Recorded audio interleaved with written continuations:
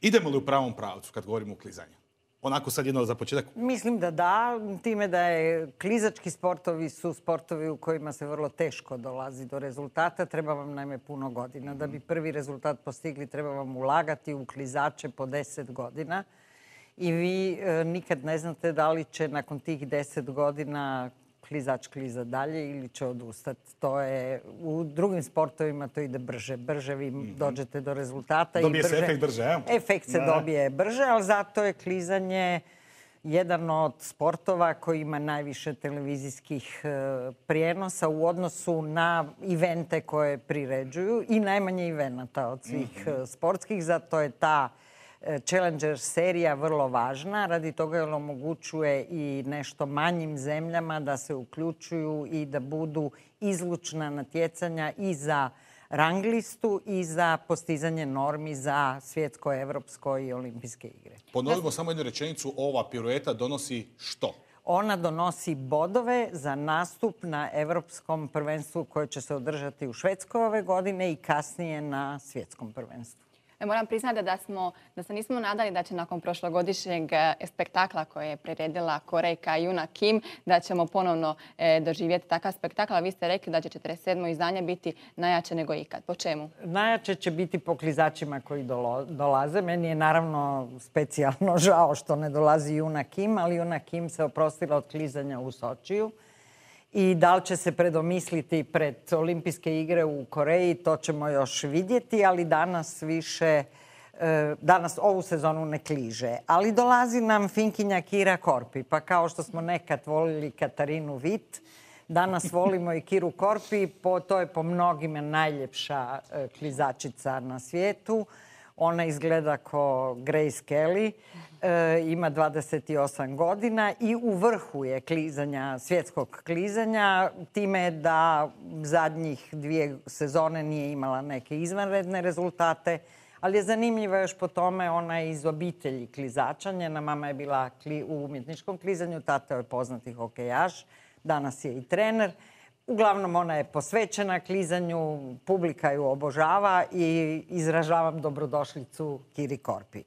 Dalje dolazi Čeh e, Mihael Brezina. On je s prošlogodišnjeg evropskog prvenstva koje je bilo održano u Zagrebu, on je imao brončanu medalju.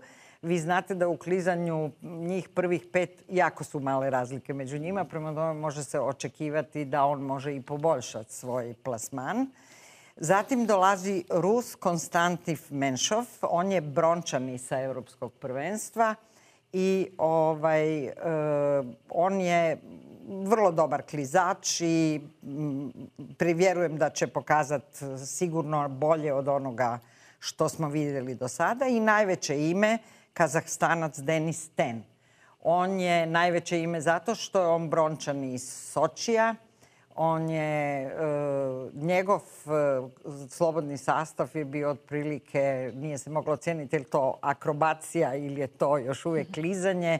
Vrlo je brz u skokovima, skokovi su mu visoki, e, krasno kliže i vjerujem da će zagrebačka publika biti sretna. I prije dolaska u Zagreb već veliko zanimanje postoji. Sigurno ste i vi već čuli. Poznati turski nogometač, il, e, nogometaš Ilhan Manzis koji će s partnericom Olgom Bestadigovom natjecati se u sportskim parovima. Nemamo prvo puno slučajeva, dakle to je jedini slučaj u kome poznati nogometaš nastupa u sportskom paru i ja vjerujem da će to publici isto tako biti. Sjajno, bit će zanimljivo vidjeti da li se bolje snalazi s loptom ili na krizaljkama. Tako je. Nabrajajući sjajna imena koja će i ove godine pohoditi 47. Eh, izdanje Zlatne piruete. E, gospođo Gruden, dajte mi recite, gdje su naši e, molim vas, dajte mi, ovo je sport nedeljom, on podržava hrvatsku sportsku priču. Ovako, imamo mlade nade, 15-godišnju Tenu Čopor. Mhm. E, ona će nastupiti na e, zlatnoj pirueti. Svi se jako veselimo kad neko ima 15 godina i uspije e, se izboriti na nastup na tako jednom jakom natjecanju. To je sigurno priznanje i za nju i za njen klub i 18-godišnja Valentina Mikac.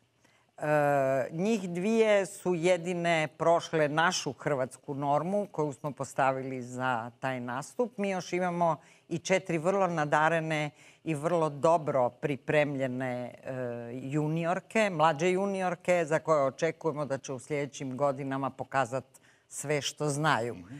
E, ono što je možda zanimljivo da se u ovoj prilici kaže, e, mi imamo potencijalno i jednog odličnog klizača koji se zove Nikola Svrdoljak.